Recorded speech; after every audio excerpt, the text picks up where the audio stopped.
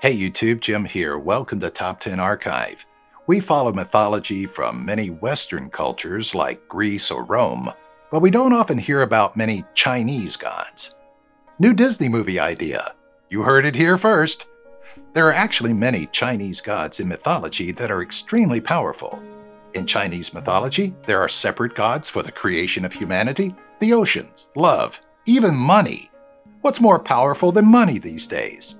Join us to hear about the 10 most powerful Chinese gods of mythology. But before we get started, why not become an archivist today by clicking that subscribe button and notification bell so you don't miss out on any future uploads. If you end up enjoying this video, let us know by giving it a thumbs up and in the comments section, tell us what mythology you would like us to cover next. Number 10. Nuwa and Fuxi.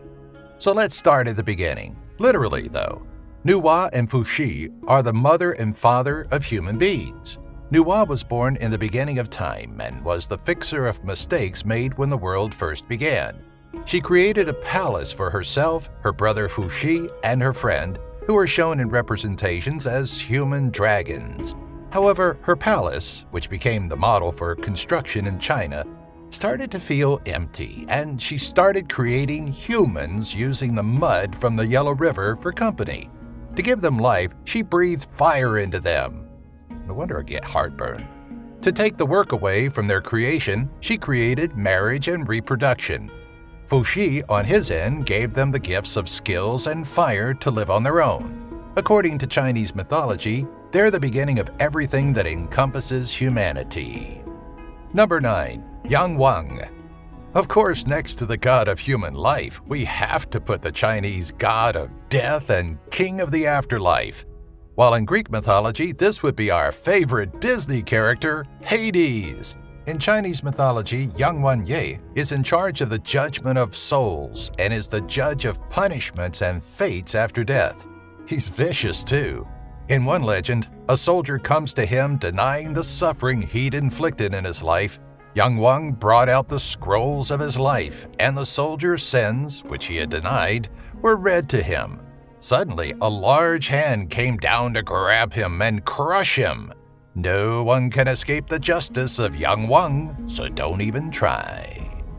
Number 8. The Eight Immortals Think of the Eight Immortals kind of like the Avengers. Each one has their own power, they live in a secluded area, and they're all coming out with their own movies. Just kidding about that last part. According to the legends, the eight immortals live on five islands in the Chinese Bohai Sea. They've also been called the Eight Genies, and their powers can either bestow life or destroy evil. Seeing as there's eight of them, this is the best rescue team you want around when evil does make an appearance. Boom! Life. Pow! Evil! You know, someone needs to make an Eight Immortals comic book series. Oh no, I didn't just say that out loud. Mm, keep giving away those great ideas. Number 7. Guan Yin Guan Yin or Guan Yin Pusa is the goddess of mercy. So while Yang Wang will bust you, Guan Yin is your mythical grandma, ready to come bail you out. She's known for helping the distressed, the hungry, and comforting those who need it. She's well known by all ages and well liked as a god. I mean, it's easy to like someone who comforts you when you need it, isn't it?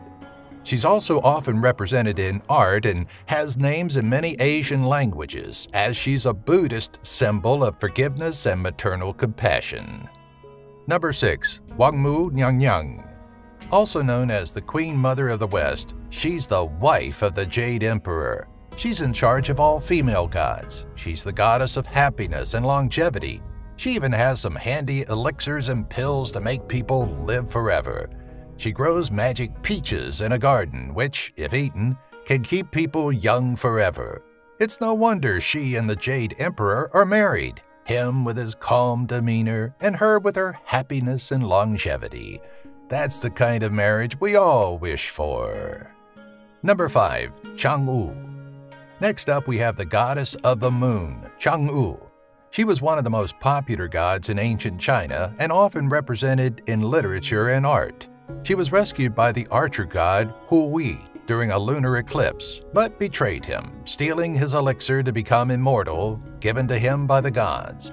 She transformed herself into a toad to hide from him and the other gods on the moon, and when the anger had passed, Chang'e had already been a toad for too long and remained in this form.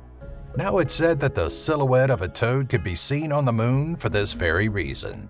This story is often celebrated during the Moon Festival in the fall, when people spend time outside observing the moon, eating moon cakes, and exchanging gifts.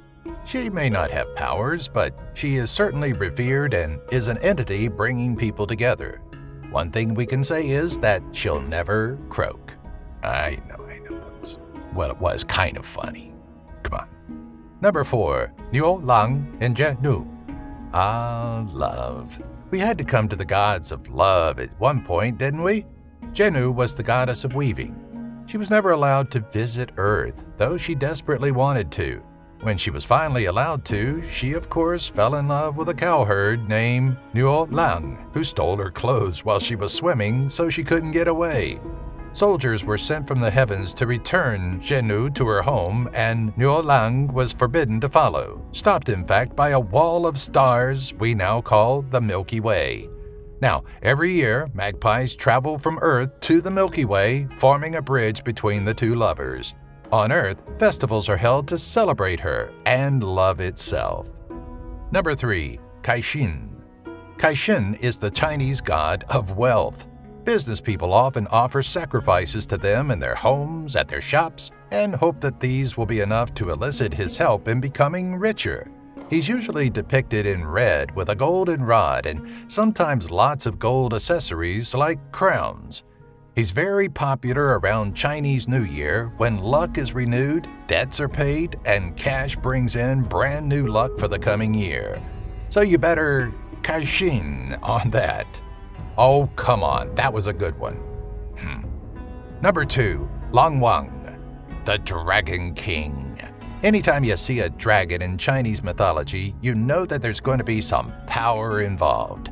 The Dragon King, Long Wang, is the king of the sea. Long Wang rules his own court and all creatures in the ocean. He's also in charge of other waters like rain and also controls the wind. He is worshipped in China with sacrifices usually taking place around the fifth or sixth moon. Number 1. The Jade Emperor The Jade Emperor couldn't possibly be a regular god with that name. He's ruler of the universe and controller of all gods from several religions. He's worshipped by people all over China, and it's sometimes said that he was the one that created humans from clay.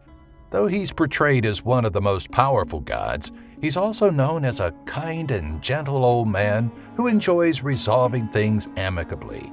Basically, he's the ruler we all need. Thanks for watching. Don't know about you, but I really like mythology-related videos like these. If you do too, let us know in the comments now. Plus, subscribe to the channel, click the bell, give this video a like, and use your social media power to share it with all your friends and family.